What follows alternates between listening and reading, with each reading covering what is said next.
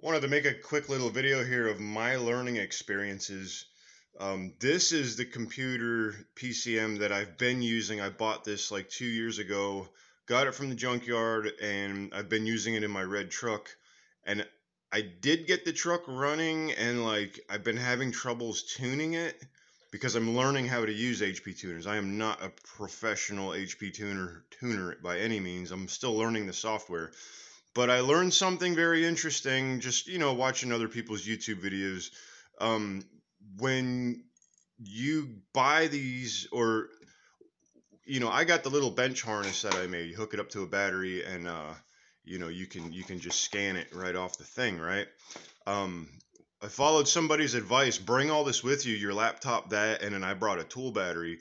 But uh, you can read the PCM while you're still at the junkyard and what you want to do is uh, go into, you know, the uh, OS tab, and then you'll see, like, this is the one that I've been using. Let's see if I can focus on this here.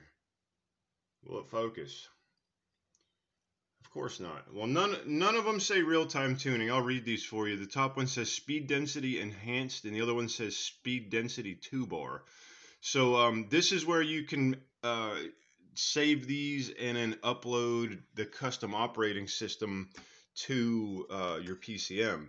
So what I did was I went to the junkyard. I just hooked this up to as many I, as I could find. And uh, give me one second. I'll load up the the one that I found and I'm now currently using. I want to show you what the difference is, but uh, what you should be looking for here. Give me one second. I'll load it up.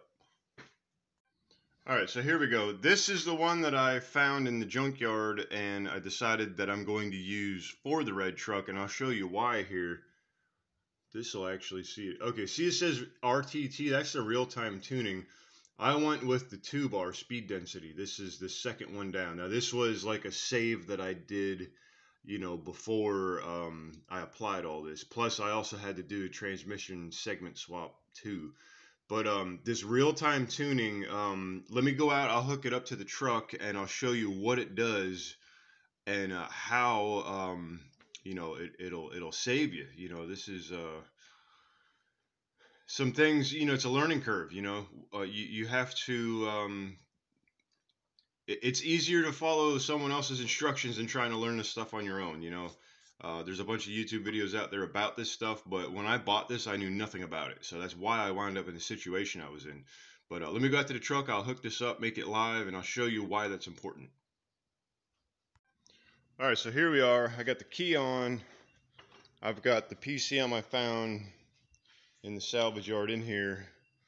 Uh, I made some progress on this. I'll touch this later. But um, for right now, the purpose of this video is to, to instruct some, somebody on this real-time tuning. So you see up here, um, there's no, it's like a lightning bolt thing. If I connect to the car, it's going to read it. And this is the uh, VCM scanner here. All right, see now all of a sudden this, this lightning bolt with the wrench showed up.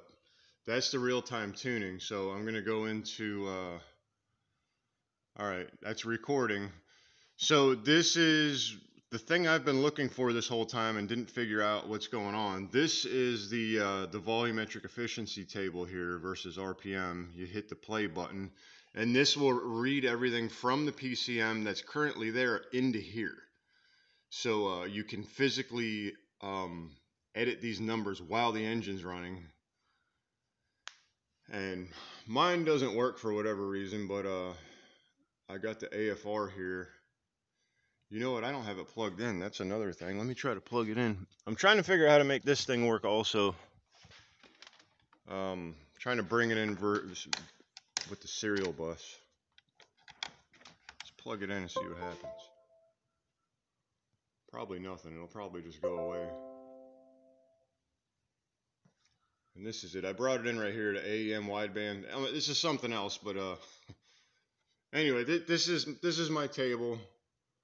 Now, as the engine's running, I'll have a thing bouncing around, a little box showing me where it's at in real time, and um, you know, I I can uh, make adjustments here based off of the AFR, which is it's probably all dash as it is because it's not running.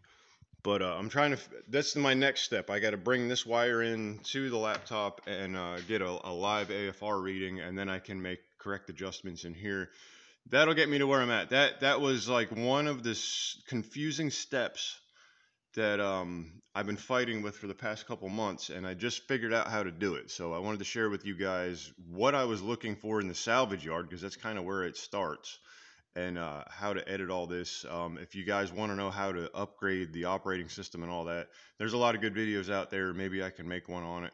It's fairly simple to do. It's just a lot of saving, you know, beforehand.